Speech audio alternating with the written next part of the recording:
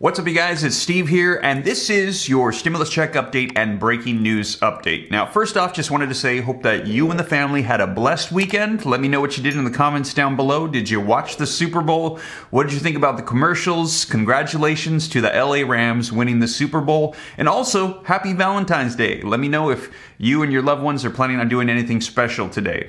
But I do have some stimulus updates for you, and we actually had an exclusive yesterday with Speaker of the House Nancy Pelosi and she's going to be discussing inflation and how Build Back Better and stimulus packages that they're preparing are actually going to be combating inflation and taking away from the deficit, and also where things stand with negotiations and Joe Manchin, as we're now seeing articles from that exclusive coming out like this. Take a look.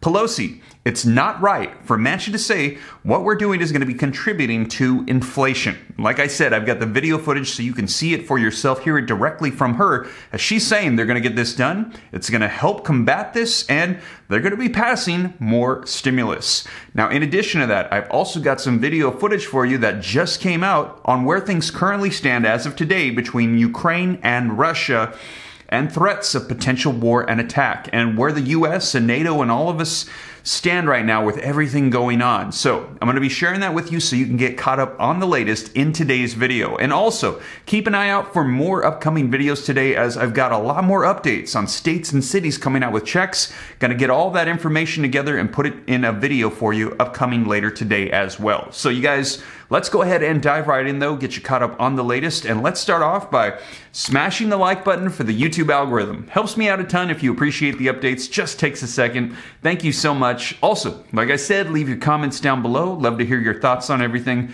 Share this out if you think it's going to help out other people. And if this is your first time here and you want to stay up to date, Totally free to do so. All you got to do is hit the subscribe button, turn on that notification bell. I'll keep you up to date on everything going on. And if you got any specific questions for me, shoot them to me in the DM on Instagram at SteveRam3. Easiest and best way to get a hold of me directly. And also, consider joining the second channel, Steve Ram Finance. Going to get up more content on there to help out people learn about personal finance and growing wealth.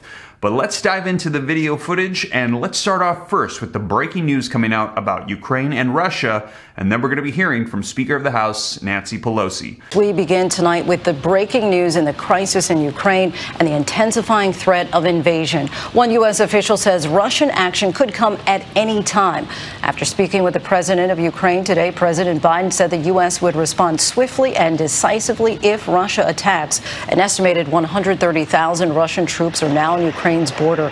These forces are conducting live exercises with allies in Belarus. All this as additional U.S. troops, members of the 82nd Airborne, arrived today in Poland to support NATO allies in the region. And while Ukraine's airspace does remain open, the country is advising airlines to avoid flying over parts of the Black Sea region. ABC's senior foreign correspondent Ian Pannell's on the ground in Ukraine and leads us off tonight. Tonight, with Russia performing massive military drills near Ukraine's borders, aviation officials in Ukraine warning airlines not to fly over part of the Black Sea where the Russian Navy's conducting war games. While Ukrainian commercial airspace remains open, Dutch airline KLM suspending flights into the country, Lufthansa considering the same.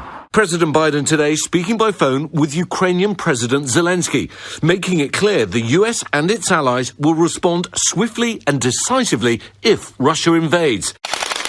Zelensky asking the US for even more military and financial support, even inviting Biden to visit the country.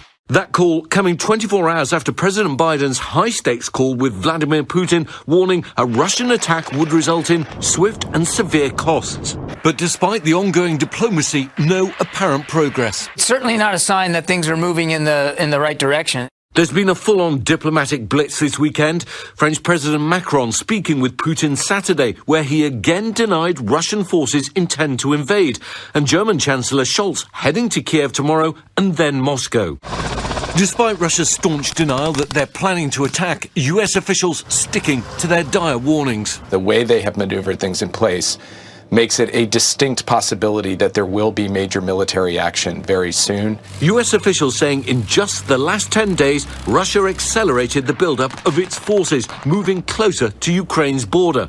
Putin now has an estimated 130,000 troops amassed on three sides of the country, and the West believes it could launch an assault very rapidly.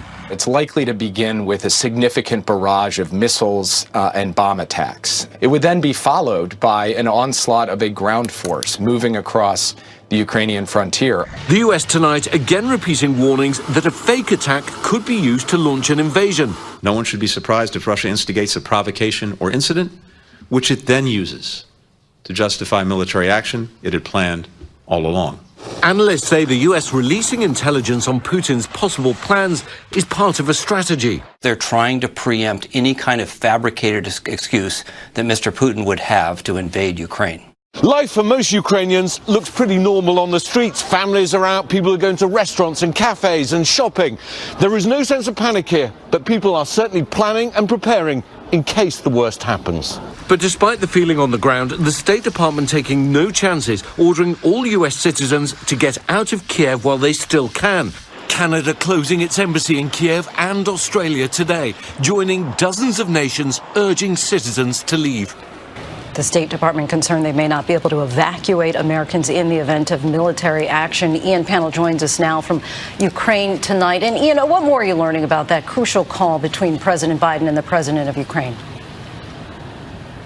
Yeah, interesting. I mean, uh, Vladimir Zelensky thanked Joe Biden for his support, but he also invited him to visit Ukraine, saying that he's convinced that if he arrived in Kiev in the coming days, it would be crucial to help stabilize the situation, send a powerful signal, and also help towards de escalation.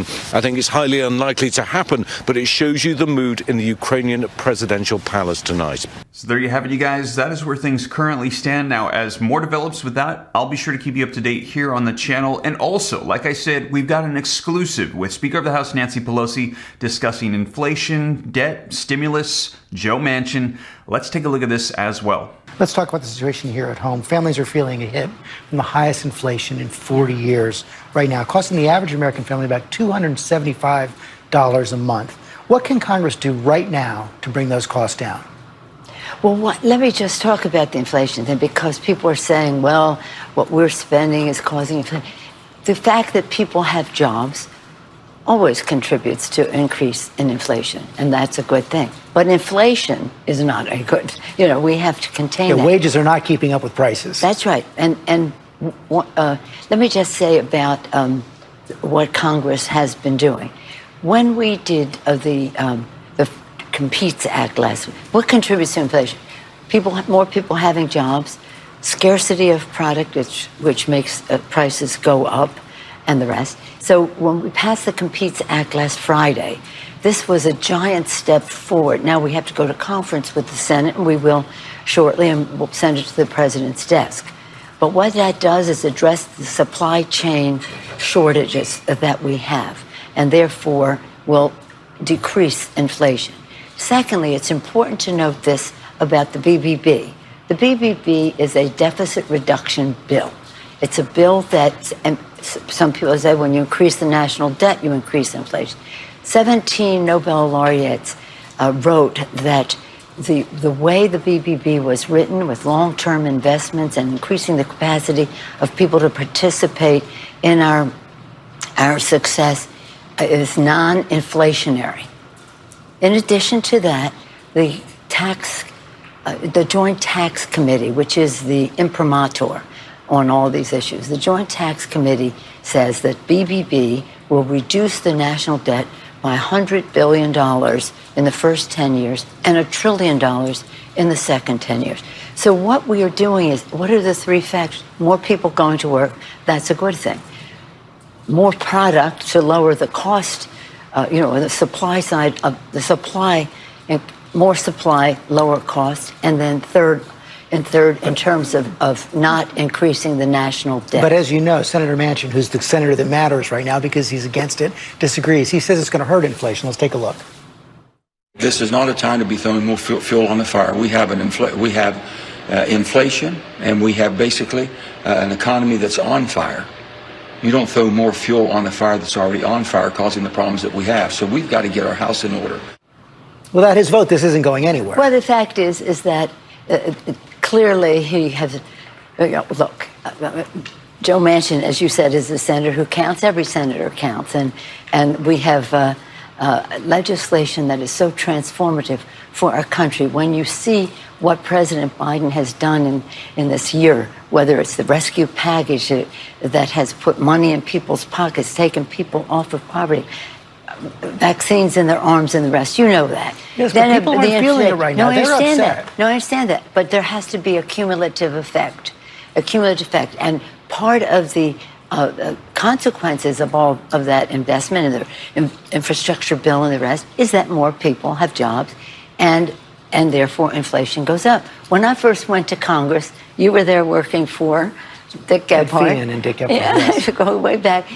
That I went to my first meeting of the where the head of the Fed came in to talk about inflation and unemployment. That was a requirement that the chairman report to Congress on that. And the first thing Chairman Greenspan said was, unemployment is dangerously low. Well, if you're just measuring it by inflation. But the fact is that the rise in employment and President President Biden now nearly seven million jobs in his year in office.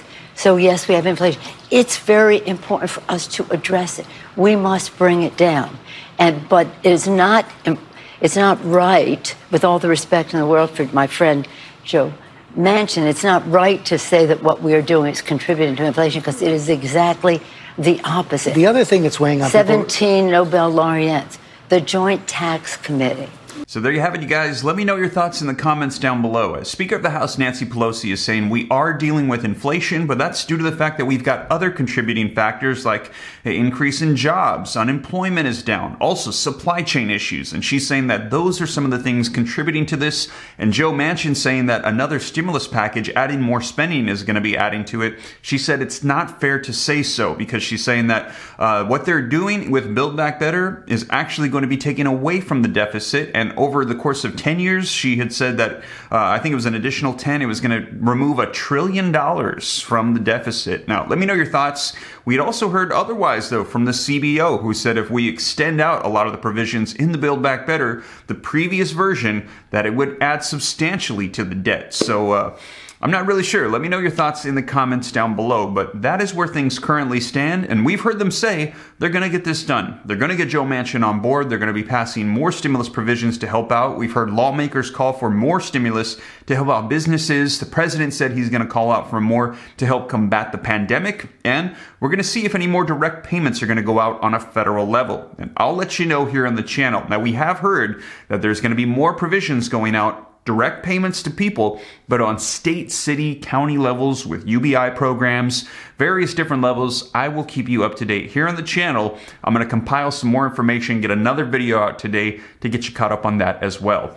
But you guys, that is the latest. And as always, thank you so much for joining me here on the channel. If you made it this far and you haven't already, don't forget, take a quick second, smash that like button for the YouTube algorithm. Helps out the channel a ton. I appreciate it. Thank you so much. Also, leave your comments, share this out. If this is your first time here and you want to stay up to date, hit the subscribe button, turn on the notification bell. Totally free to come join the Ram fam.